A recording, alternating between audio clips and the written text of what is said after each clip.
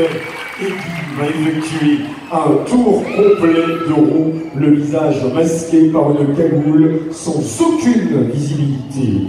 À vous et bravo les Heavy Rose